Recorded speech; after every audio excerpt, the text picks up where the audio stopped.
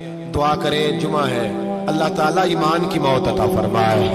दुआ फरमाए, रब ताला तौबा करके जाने की तोफीक अता फरमाए। अल्लाह, तू हमें जुल्म से वैसे ही महफूज फरमा। अगर हम ज्यादती करने लगे तो अल्लाह हमें उससे मना फरमा।